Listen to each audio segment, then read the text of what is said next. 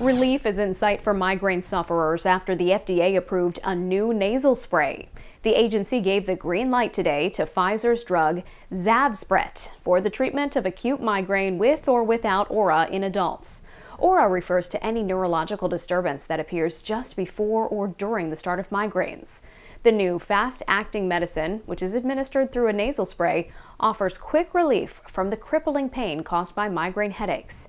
The Migraine Research Foundation says migraines affect 39 million people in the United States.